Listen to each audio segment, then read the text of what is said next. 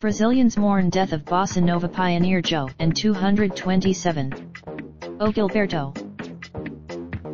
Rio de Janeiro AP, you Brazilians most of them at least on Sunday mourned the loss of Joe Gilberto, one of the fathers of bossa nova music, which gained worldwide popularity in the 1960s.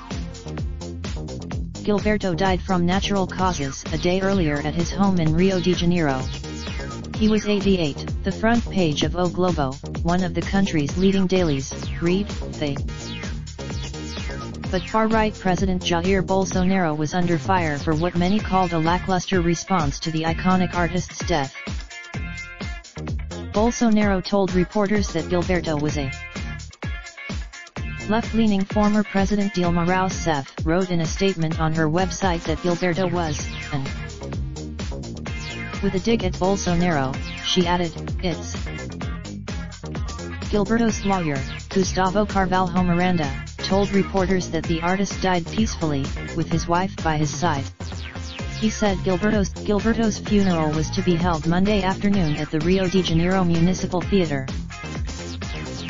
In Memoriam 2019 Remembering Stars We Lost This Year via Photo Services.